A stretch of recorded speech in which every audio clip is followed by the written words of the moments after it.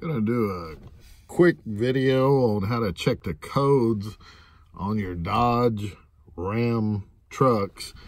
Uh, approximate years through 1998 to about 2007. And basically all you do is if you have a digital odometer, you flip your key three times, leave it on on the last flip the truck will automatically run its codes and it'll give you a P number if there is a code. There isn't any in my truck, fortunately. It tells you when it's done.